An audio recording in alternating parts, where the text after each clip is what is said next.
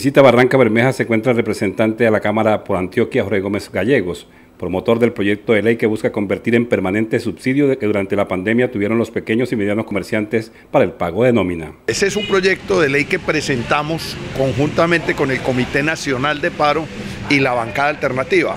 Es un proyecto de ley, primero para aumentar el tope del subsidio a la nómina de las pequeñas y medianas eh, eh, industrias y empresas en general, empresas en general, incluidas pequeñísimas que no están formalizadas, incluidas cooperativas y cooperativas de trabajo asociado. O sea, eh, amplía la base de la y amplía el volumen del, del subsidio y lo prolonga hasta el mes de diciembre de este año.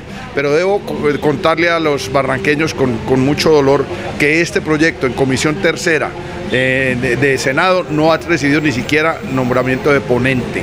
O sea, el desinterés de la bancada mayoritaria gobernista en el Congreso por estos temas que son los que sirven para la reactivación económica es absoluto. Dos billones de pesos significaría este subsidio en el presupuesto anual de la Nación. Nosotros calculamos que la inclusión adicional, porque es que ya hay una parte incluida, sería ampliar el, presupuesto, serían unos dos billones de pesos.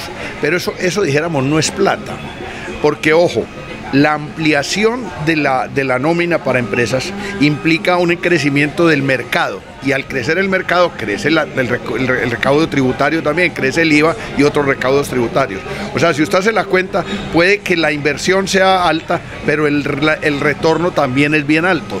O sea, hacen las cuentas, pero las cuentas como al revés en el gobierno.